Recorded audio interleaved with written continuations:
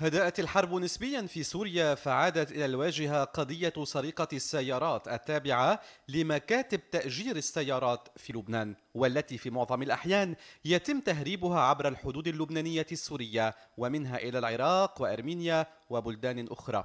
أصحاب مكاتب تأجير السيارات وبعد عمليات سرقة حصلت في كسروان وجبيل وبيروت والمتن رفعوا الصوت عبر تلفزيون لبنان.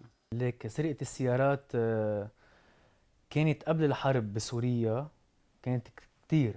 عم تنسرق من جونيا من بيروت آه، آه، معملتين بتنسرق بتطلع على المناطق القريبة على حدود سوريا. ومن هونيك بتهرب على سوريا سوريا تركيا أرمينيا العراق وبتروح السيارات. آه، بالحرب بسوريا خاصة وقتها كانت المشاكل يعني بأوجها إذا بدك بسوريا. خفت هيدي السرقات. ليه؟ لا ما بقى فيهم يطلعون على سوريا.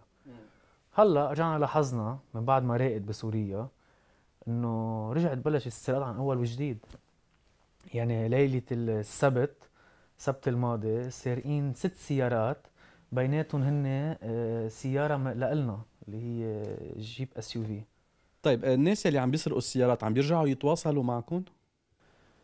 أه بيرجعوا بيتواصلوا يعني قبل كانوا كانوا يرجعوا يتواصلوا أو يرجعوا يدقوا حدا على المكتب مثلا مرحبا نحن أخذين لكم هالسيارة. من رقم مشفر أو رقم أو أو خط يكبوه وبدنا هالقد مبلغ بس نحن ولا مرة جريناهم بالموضوع. كنا دائما آه، نروح عند الجهات المعنية المختصة بهالمواضيع نعطي التقارير واللي بيقدروا يجيبوه يقدروا يجيبوه.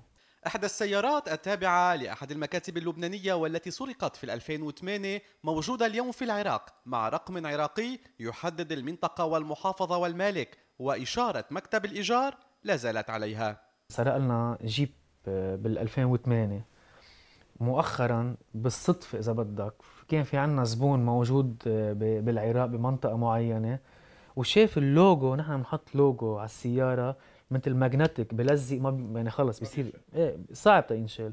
فمن ورا اللوجو عرف إنه هاي السيارة تابعه لنا وخبرنا إنه شفت السيارة هون هون هون. نحن كمان أعطينا هالتفاصيل للجهات المعنية على أمل إنه تتصرف وتقدر تلاقي لنا نتيجة تقدر تلاقي لنا حل. عصابات سرقة السيارات في لبنان قضية ليست بجديدة وكل ما يطلبه هؤلاء امنا وامانا وحماية.